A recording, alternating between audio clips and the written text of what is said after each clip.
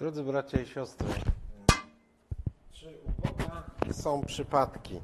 Czy y, w ogóle jest coś takiego, co zaskakuje Boga i musiałby y, obrać jakiś plan B, opracować, bo coś się nie udało? Niektórzy tak wierzą, niektórzy wierzą, że Bóg nie wiedział, że Adam i Ewa upadną i zgrzeszą i można powiedzieć, zwołał sztab kryzysowy, kiedy Adam i Ewa zgrzeszyli i dopiero opracował plan zbawienia. Nie jest to biblijny pogląd, nie jest to właściwy pogląd. Kiedy niedawno byłem na obozie chrześcijańskim w Ustroniu, pewna siostra zadała mi pytanie, jak to jest, jak rozumieć słowa z Księgi Kaznodziei Salomona, zresztą jednej z najtrudniejszych w Piśmie Świętym, dziewiąty rozdział, werset jedenasty, który to mówi tak. Potem obróciłem się i widziałem pod słońcem, że bieg nie należy do szybkich, ani wojna do dzielnych, ani żywność do mądrych, ani bogactwo do roztropnych, ani łaska do zdolnych, lecz czas i przypadek spotyka wszystkich. Ta osoba zapytała mnie, czy to prawda, że u Boga nie ma przypadków. Zacznijmy od tego tekstu. Salomon zwraca uwagę, że nie zawsze tak się dzieje, że ktoś predysponowany do czegoś rzeczywiście to osiąga. Czasami wydaje się, że jakieś wysokie stanowisko czy sukces osiągają ludzie najmniej, po których byśmy się tego spodziewali. Ale czy rzeczywiście jest to zaskoczenie dla Pana Boga? Otóż bibliści, hebraiści są zdania, bo Stary Testament, tak zwany z Księgi Starego Przymierza, były pisane po hebrajsku i część tylko po aramejsku, że tam występuje słowo nieprzewidziane zdarzenie. Tak można najlepiej je przetłumaczyć. I nie jest to nieprzewidziane zdarzenie dla Boga, ale dla człowieka. Że jest to nieprzewidziane zdarzenie przez człowieka, a nie przez Boga. I to nam daje taki, wiecie, pokój, świadomość, jakiego Boga znamy, że Bóg zna przyszłość, my się możemy lękać tej przyszłości, a Bóg w tej przyszłości już jest, bo On jest wieczny, On jest poza czasem, On jest ponad czasem. Mojego najlepszego przyjaciela Tomka z Torunia, brat Piotr, kiedyś powiedział, że jeśli przyrównać całą historię świata, ludzkości do taśmy celuloidowej, na jakiej, z jakiej kiedyś były wyświetlane filmy, gdzie są poszczególne klatki, tak? Tak kiedyś wyświetlano w kinach filmy w dawnych czasach. To Pan Bóg jest kimś takim, kto widzi wszystkie klatki tego filmu jednocześnie z doskonałą ostrością. On zna całą historię ludzkości od samego początku do samego końca. I dlatego możemy powierzyć mu swój los. Ale żeby nie być gołosłownym, zwróćmy uwagę na teksty Pisma Świętego. Zacznijmy może od rzeczy mniejszych ku większym. Wiemy z Księgi Rodzaju, że Jakub, patriarcha, który był właściwie nazwany potem Izraelem i od którego wywodzi się naród izraelski, miał dwunastu synów.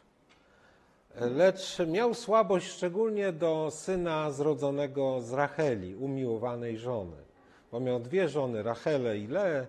Tak się złożyło, ponieważ teść go oszukał i zamiast właściwej żony dał mu inną.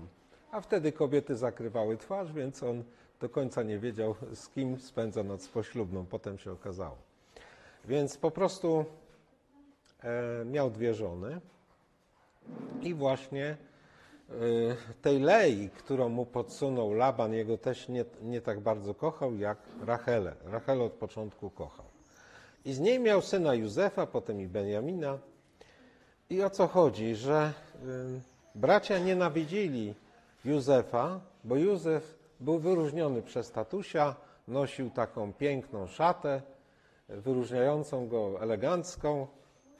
No i też y, skarżył na tych braci ojcu. Ojciec go wysyłał, żeby obserwował, co oni tam robią i żeby doniósł, jak oni sobie tam radzą. A poza tym miał takie dwa sny, w których był wywyższony ponad braci i ponad rodziców. I znienawidzili go jeszcze bardziej. I co zrobili? Zrobili, najpierw chcieli go zabić, wrzucili go do studni, a później jeden z braci zaprotestował, żeby go nie zabijać, że to nie przyniesie pożytku. Upozorowali, że zginął, szatę jego e, pokrwawili krwią zwierzęcia, a jego samego sprzedali, zobaczcie jakie okrucieństwo, sprzedali jako niewolnika jego właśnie bracia do Egiptu.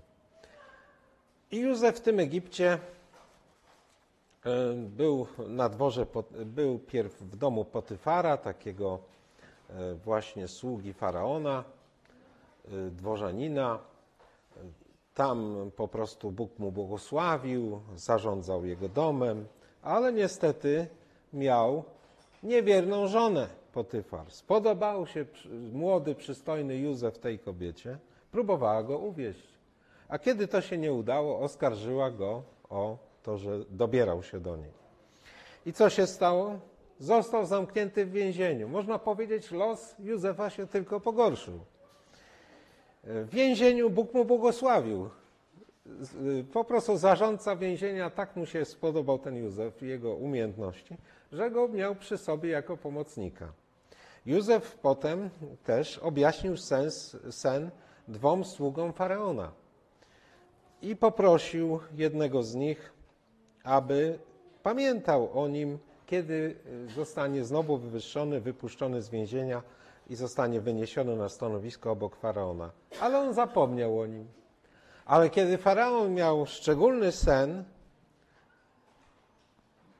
przypomniał sobie ten właśnie przełożony podczaszych, bo o nim mowa, o Józefie, Wspomniał, że był taki człowiek, który umiał objaśniać sny i Józef zostaje wypuszczony z więzienia, objaśnia sen, który zapowiada 7 lat urodzaju i 7 lat głodu, nieurodzaju. I Józef zostaje namiestnikiem Egiptu, pierwszym po faraonie. Zostaje tak, jakbyśmy dzisiaj powiedzieli, według dzisiejszych kryteriów, premierem Egiptu.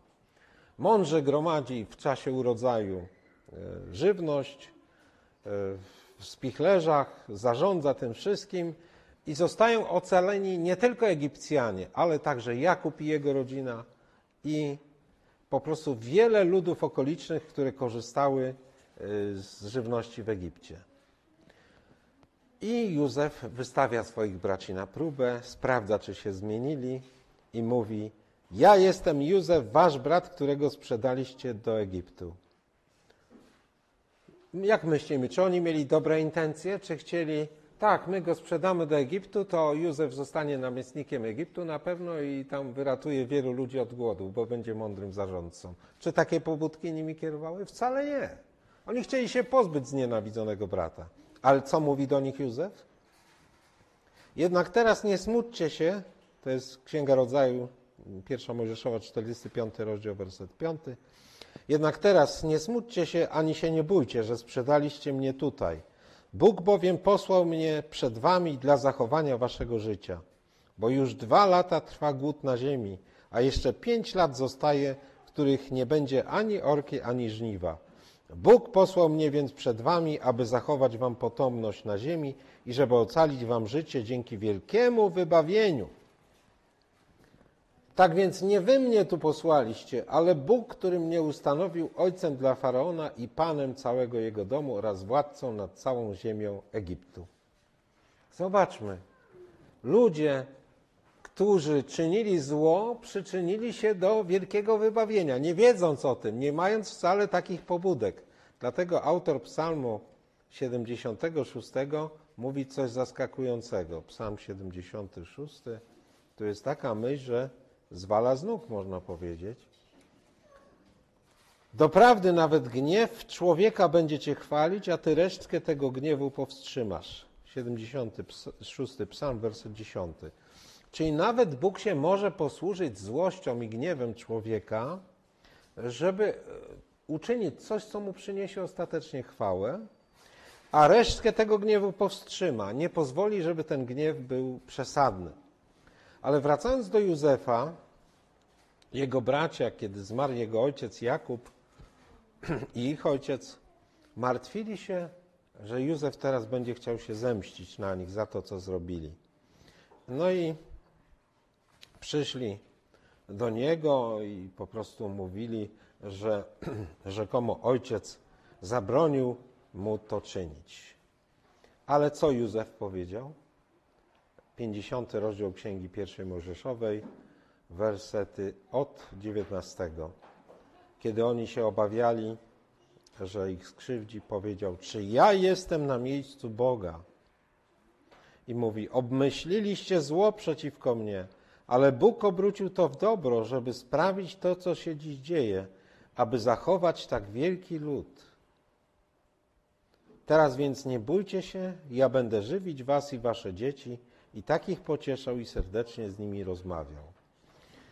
Wspaniałe przebaczenie ze strony Józefa, a zarazem wielkie wybawienie, którego Bóg dokonał, posłużywszy się drugorzędnym czynnikiem, jaki był, jakim była zazdrość, bo to zazdrość spowodowała to zachowanie braci Józefa i nienawiść. Bóg wykorzystał to ku swojej chwale. I Pan Bóg jest taki mądry, że tak sprawuje nadzór nad wydarzeniami, że ze złe, złych rzeczy potrafi zrobić coś dobrego. Najlepszy przykład mamy w Panu Jezusie. Wiemy, że e, został skazany na śmierć jak jakiś najgorszy przestępca, ale czy to był jakiś też przypadek, nieprzewidziane zdarzenie dla Boga? Zobaczmy. Do dziejów apostolskich, drugi rozdział, 22 i dalej. Mężowie izraelscy, słuchajcie tych słów, mówi święty apostoł Piotr. Jezusa z Nazaretu, męża potwierdzonego przez Boga wśród was mocami, cudami i znakami, których Bóg dokonał przez niego wśród was, wśród was o czym sami wiecie, wydanego zgodnie z powziętym postanowieniem Boga oraz tym, co przedtem wiedział, wzięliście i rękami bezbożników ukrzyżowaliście i zabiliście. Jego to Bóg wskrzesił, uwolniwszy od boleści śmierci, bo było niemożliwe, aby ta mogła go zatrzymać. Zobaczmy, mówi tak: wzięliście i rękami bezbożników ukrzyżowaliście i zabiliście. Posłużyli się y, y, no, Judejczycy rękami bezbożników, czyli pogan, rzymskich żołnierzy. Ale co mówi? Czy to było przypadkiem? Nie. Że on mówi, że Chrystus był wydany zgodnie z powziętym postanowieniem Boga. To było zamierzenie Boże od wieków. Od wieków Bóg zapowiadał, że przyjdzie Mesjasz, który najpierw będzie cierpiał, a potem przejdzie do chwały, do królowania. I to było nieprzypadkowe, co się stało. Bóg z góry wiedział, że tak się stanie. I czwarty rozdział też to potwierdza dziejów apostolskich. E, I tutaj czytamy od wersetu 26. Królowie ziemi powstali i książęta zebrali się razem przeciw Panu i przeciw Jego Chrystusowi. Rzeczywiście bowiem Herod i Poncjusz Piłat z poganami i ludem Izraela zebrali się przeciwko Twemu świętemu Synowi Jezusowi, którego namaściłeś. I teraz uwaga, tu jest mowa o ludziach, co zrobili. A teraz posłuchajmy, co dalej. Aby uczynić to, co Twoja ręka i Twój wyrok przed tym postanowiły, że ma się stać.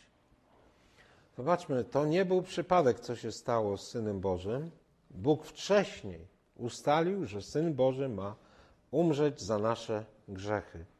E, poprawny przekład Księgi Objawienia 13 e, rozdziału mówi o Chrystusie, że jest barankiem zabitym od założenia świata. Werset ósmy. A pierwszy list Piotra też pokazuje, że on był planowany. Pierwszy list Piotra, pierwszy rozdział od 18 do 20 wersetu. Wiedząc, że nie tym, co zniszczalne srebrem lub złotem zostaliście wykupieni z waszego marnego postępowania przekazanego przez ojców, lecz drogą krwią Chrystusa, jako baranka niewinnego i nieskalonego, przeznaczonego do tego przed założeniem świata, objawionego w czasach ostatecznych ze względu na Was. Drodzy, to przerasta nasze myślenie.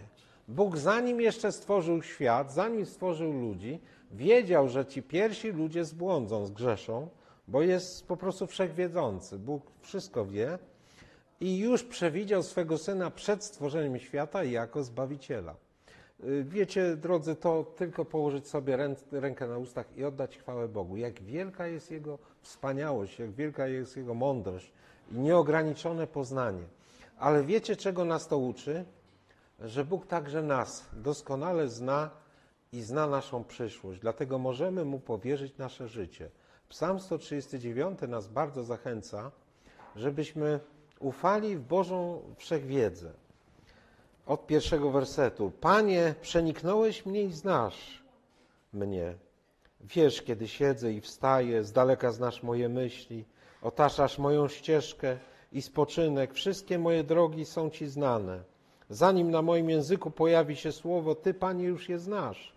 Otaczasz mnie z tyłu i z przodu i położyłeś na mnie Twoją rękę. Zbyt cudowna jest dla mnie Twoja wiedza, jest wzniosła, nie mogę jej pojąć. Dokąd ujdę przed Twoim duchem, dokąd ucieknę przed Twoim obliczem? Jeśli wstąpię do nieba, jesteś tam. Jeśli przygotu przygotuję sobie posłanie w Szeolu, czyli w krainie umarłych, tam też jesteś. Gdybym wziął skrzydła zorzy porannej, aby zamieszkać na krańcu morza, i tam Twoja ręka prowadziłaby mnie i Twoja prawica by mnie podtrzymała.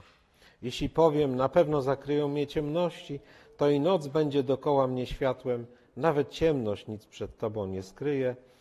Dla Ciebie noc świeci jak dzień, ciemność jest jak światłość. Ty bowiem panujesz nad moimi nerkami, czyli najgłębszymi tak uczuciami, myślami.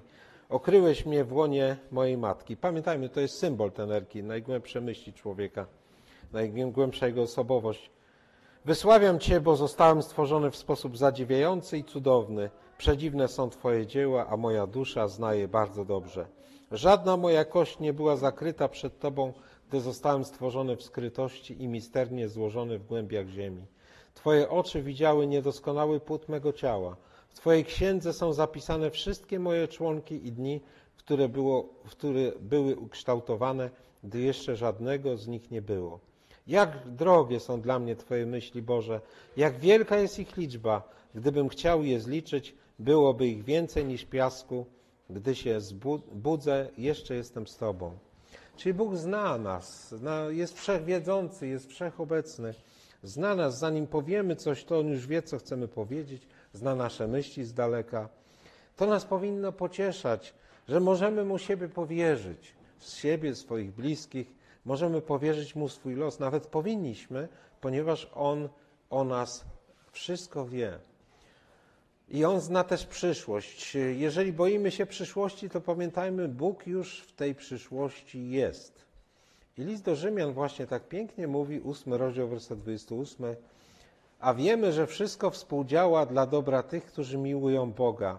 To jest tych, którzy są powołani według postanowienia Boga. Wiecie, tak łatwo to się czyta, ale trudno w to wierzyć. Jak się zdarzają niepomyślne rzeczy, jakaś choroba, jakieś nieszczęście, jakiś problem, jakieś trudności rodzinne, y, trudno wierzyć, że jest to, ma to sens. Ale ufajmy Bogu, że On może obrócić na tą sytuację w lepszą, że On może zapewnić nam szczęśliwą przyszłość, tylko powierzmy swoje życie Jemu.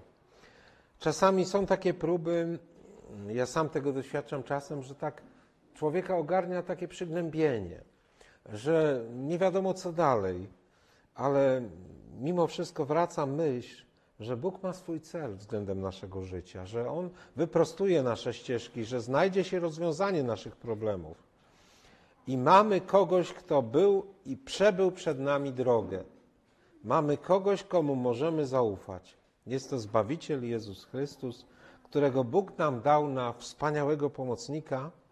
I tak jak czasami jest ogłaszane, że jest telefon zaufania 24 godziny na dobę, gdzie na przykład ktoś chce popełnić samobójstwo, ktoś ma inne złe myśli, czy jakieś problemy, że ktoś tam czuwa przy tym telefonie, jakiś psycholog, to pamiętajmy, że my mamy lepszego pomocnika, Jezusa Chrystusa, który jest zawsze do naszej dyspozycji.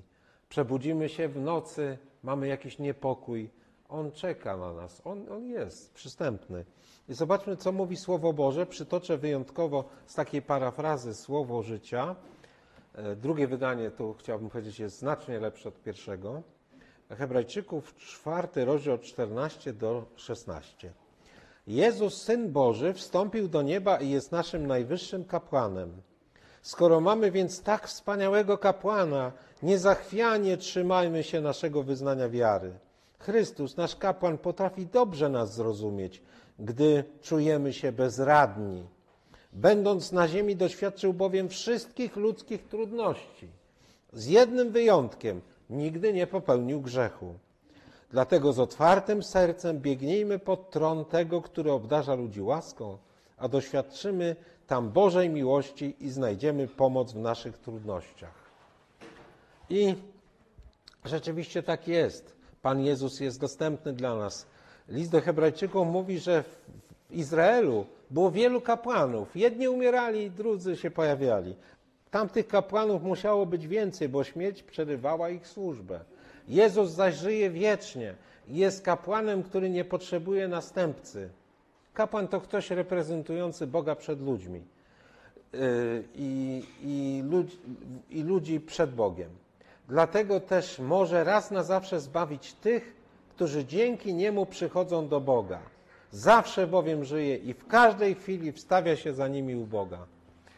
Więc pamiętajmy, że Pan Jezus nas zaprasza, żebyśmy do Niego przyszli i przez Niego do Ojca, bo u Boga nie ma przypadków. Oczywiście każdy też obiera swoją drogę człowiek. Każdy stoi wobec wyboru, czy wybierze dobro, czy zło. Ale Bóg nad tym wszystkim ma rękę i On jest w stanie tak pokierować wydarzeniami, że wyjdziemy zwycięzcami nawet z trudnych sytuacji. Pan Jezus mówi tak w Ewangelii według Mateusza 11, rozdział 28. Przyjdźcie do mnie wszyscy, którzy jesteście spracowani i obciążeni, a ja wam dam odpoczynek. Nie tylko chodzi o pracę fizyczną, ale trudy życia, różne przykrości, problemy, może być depresja, cokolwiek, co nas gnębi. Pan Jezus zaświadcza, że jeśli przyjdziemy do Niego z wiarą, to On da nam wytchnienie, da nam odpoczynek. I ja Wam powiem jeszcze więcej. Możemy przyjść słabi w wierze, a On umocni naszą wiarę. Teraz byłem na obozie chrześcijańskim, jak mówię, i zaświadczył brat świadectwo, brat Grzegorz z Krakowa, który rok temu był umierający, miał zatrutą wątrobę. Wydawało się, że nie przeżyje i się gorliwie wszyscy modliliśmy. Teraz stanął i powiedział: Nie miałem takiej wiary, żeby to przetrwać, ale Bóg się nade mną zmiłował i udzielił mi takiej wiary. I stoję przed Wami, już, już pokonałem tę chorobę, nie? Już, już był zdrowy. Także dzięki Bogu za to, że Bóg daje siły. I co Pan Jezus dalej mówi? Weźcie na siebie moje jarzmo i uczcie się ode mnie, że jestem cichy i pokornego serca, a znajdziecie odpoczynek dla waszych dusz. Moje jarzmo bowiem jest przyjemne, a moje brzemię lekkie. Ten świat nakłada na nas nieraz różne brzemiona. E, diabeł, pamiętajmy, że jest tutaj w tym świecie, próbuje nas obciążyć różnymi przykrościami. Tak jak Pan Bóg posługuje się ludźmi, tak i diabeł posługuje się ludźmi. Ale Bóg ma nadzór także nad diabłem. On mu nie pozwoli za dużo złego zrobić. W przypadku Hioba, wiernego sługi Bożego, e, Bóg nie dozwolił diabłu za bardzo go skrzywdzić. Postawił tamę i na koniec odmienił los Hioba na lepszy. I są czasami nieprzyjemne okoliczności dla kogoś, które wydaje się, że są beznadziejne. Pamiętamy strażnika więziennego Filipi. Nastąpiło trzęsienie ziemi. Bał się, że uciekną wszyscy e, więźniowie, a za to by przypłacił e, śmiercią po prostu, wyrokiem śmierci ze strony rzymskich władz, dla których służył. I co się stało? Przy, już chciał się rzucić na swój miecz i przyszedł do apostoła Pawła i, i Sylasa, którzy też zostali uwolnieni przez to trzęsienie ziemi, że opadły kajdany z ich rąk i te dyby. I, powiedział, panowie, co mam czynić, abym był zbawiony? A co oni odpowiedzieli? Uwierz w Pana Jezusa Chrystusa, a będziesz zbawiony ty i twój dom. I właśnie to jest droga wyjścia. Wydaje się nieszczęście. Ten człowiek y, chciał się zabić, więźniowie myślał, pouciekali, a jednak nie, byli tu wszyscy. I nie tylko, że z tych nieszczęśliwych okoliczności wyszedł cało, że więźniowie pozostali w więzieniu, ale jeszcze uwierzył, bo czytamy i głosili słowo Pańskie jemu i wszystkim jego domownikom.